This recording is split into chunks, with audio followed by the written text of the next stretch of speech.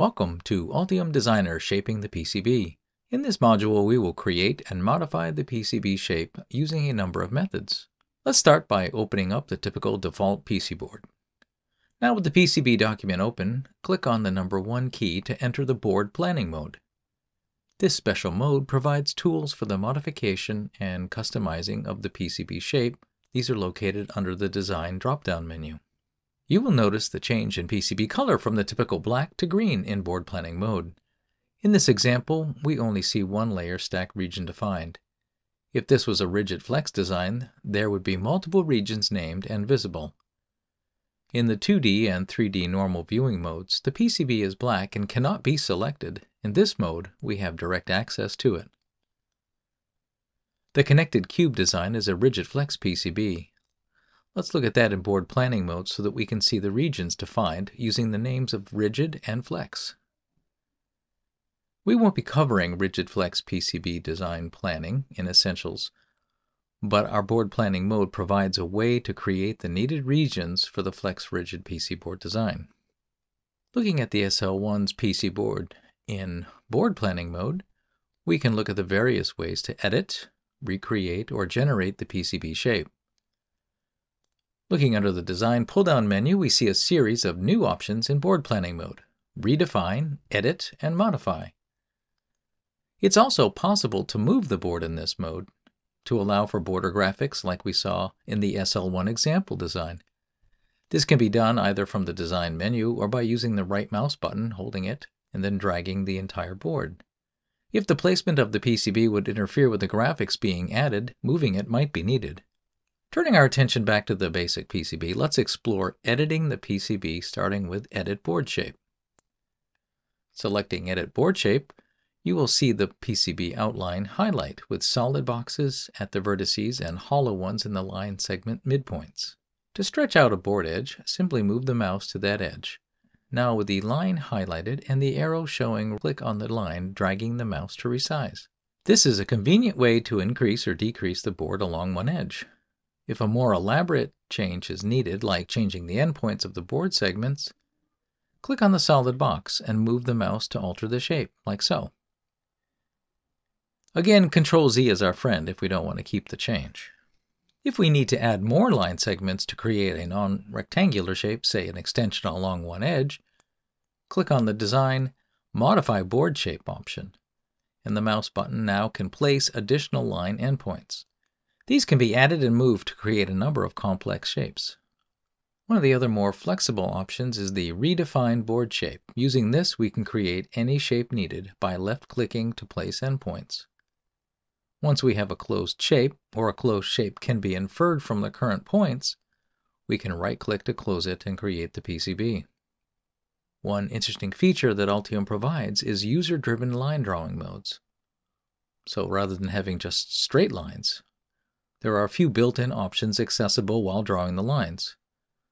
While in the Redefine Board Shape mode, hold the Shift key down and tap the space bar. You will see the status bar change at the bottom of the window indicating what the current line drawing mode is. Tapping the spacebar, we see there are a number of options. For those options with arcs, the radius can be changed on the fly by hitting the period or comma key to increase or decrease the arc. Hitting the tilde key will open up a window with the available options. Consider trying some of these. To see the bend direction change while drawing, click on the spacebar. Those methods are basic but somewhat limited. Another option is to create the desired board shape with connected lines and arcs using graphics. This would be done in the normal board 2D drawing mode. Hitting 2, we can now try adding graphics and using them to generate the PCB. The simplest one uses a circle. Here we select the circle and place its center and outer edge. With it still selected, click on Design, Board Shape, Define from Selected Objects. As you can see, this works quite well. Don't forget to delete the original graphics. Any closed shape can be used. If the shape is not closed, some weird results or warnings may occur. We can always regenerate from the board shape primitives on any layer using the Design, Board Shape, Create Primitives from Board Shape option. Select the line width and the layer for the generated primitives. I use this feature to put the board outline onto a layer that I later name board outline, as this is helpful for some fab houses. Up to this point, we've been creating the board shape without any aids to guide us. Using grids can provide a faster and more accurate means to generate the board shape. Clicking on the grid icon, it looks like a screen to me, and select Set Global Snap Grid, we can change the grid to something reasonable for our purposes. So if we want a 3 by 6.5 inch board, we'll set the grid to 500 mils. This gives us the largest granularity we can use for our target size. Now we can move the board vertices in 500 mil steps. Before we start to adjust the board, we should talk about the concept of the board origin. Under the Edit menu, there is an entry called Origin. Using the Set option to enable placement of the 0, 0 board coordinates, like so, this makes sizing the board much easier as now we start with that corner at 0, 0.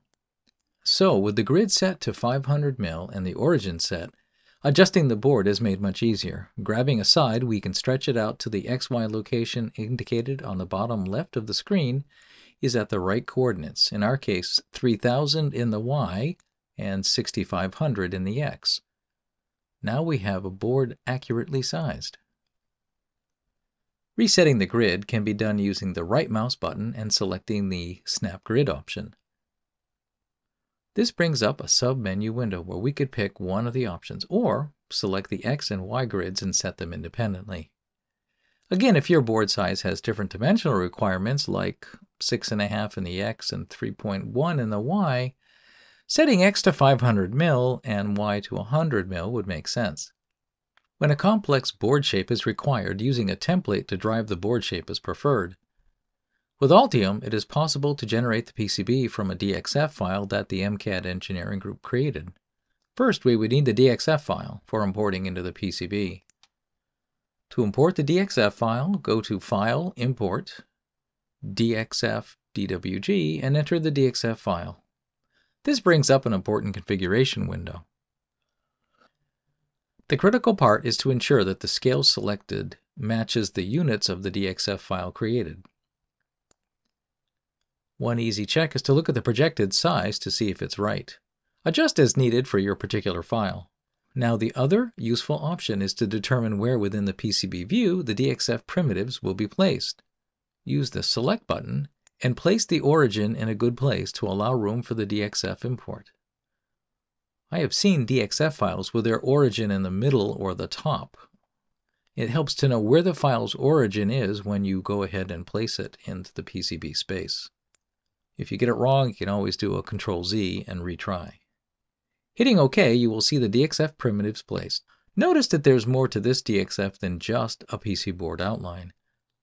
This can be confusing as the projected size in the DXF menu does not reflect the PCB, but the entire set of primitives, which in this case includes graphics. Now with the primitives still selected, we can use the Design, Board Shape, Define from Selected Objects to create the new PCB. One thing to note, delete the primitives as they are no longer needed.